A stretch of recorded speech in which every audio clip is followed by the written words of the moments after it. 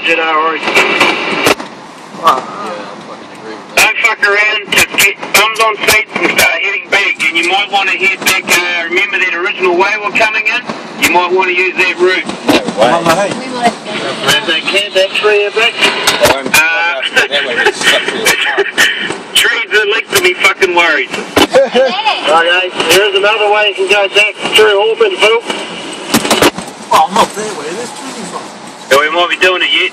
Who knows, Mary's been in Okay. Just tell Scott to stand by there and maybe we'll come by and uh, convoy him back to Ormondville. Is he stuck